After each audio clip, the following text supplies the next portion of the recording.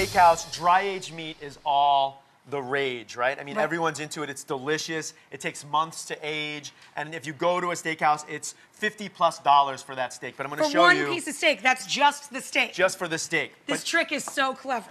I love it. So we're gonna get the flavor of dried steak. When people eat dried steak, they say, "Oh, it, it's got this funk to it. It smells like old red wine or blue cheese." So why not wrap the steak itself in some blue cheese? So what we're gonna Give do? Give me a high five. Yeah, right. And this cut of steak, Yeah. this okay. cut of steak, Yes. how much how much money was this? Wow, not expensive. This is flat iron. So, I mean, it's not a ribeye or a strip or a filet. So, it's not expensive. So, this could be, um, it could be skirt steak or it could be a flank steak. But this is flat iron. It's from the chuck. But flat iron sounds It's expensive, delicious, doesn't it? And for two people, under 15 bucks. Under so from 50 to 15. All right.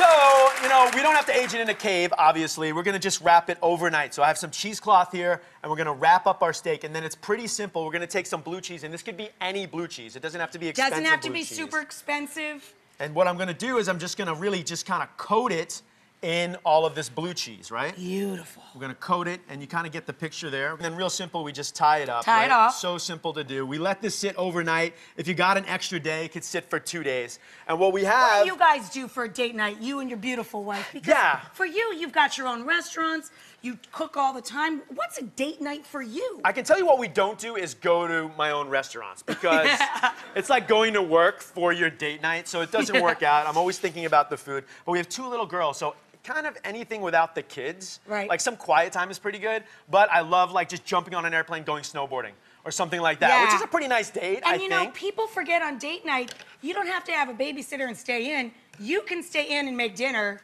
Because believe me, there's nothing sexier than somebody who cooks for dinner. You're always going to be dessert, even if you burn dinner. It's going to work out This much is true. better. This is true. you can hire, you can hire babysitters to take your children, or like I do, my dog, out of your house.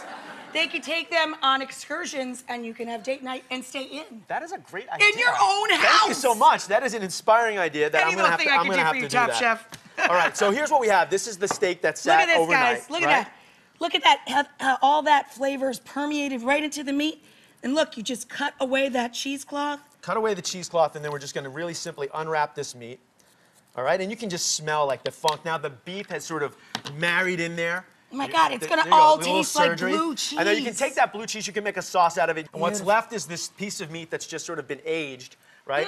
And it's got that funk to it. Here's a piece over here. Mm. That's all set so I'm to gonna go in the start, I'm gonna start cooking that. Okay. So you grab that towel real quick. Sure, babe. So hot pan, and you can kind of see like like aged meat has that sort of dry, like almost it's Has not that look it's not it. blood red, but it's got this maroon sort of thing going on. Right. And you can see that that looks like it's been aged, but it's really only been aged overnight. So It's already got so much flavor, this. you can really smell it.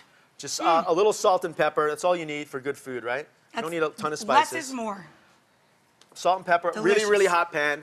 We're gonna throw that in there. Mm. That's the sound you want to hear. And then I'm gonna do what happens. And you can do this at home, but this is what happens in that fancy restaurant. Is I'm gonna baste this meat. I'm gonna throw in a little bit of whole butter in there. Mm. I'm gonna throw in a couple of garlic cloves and Yum. a couple of thyme. And this is gonna spit a little bit right here. It's gonna pop. Yum. And then I'm just gonna, I'm gonna flip this meat and I'm gonna baste it. And this is what's happening when you spend 65, 70 dollars in a steakhouse. This is what's happening. All right, they're taking care of that Look meat. at that color. Look how brown that is. Look how crispy.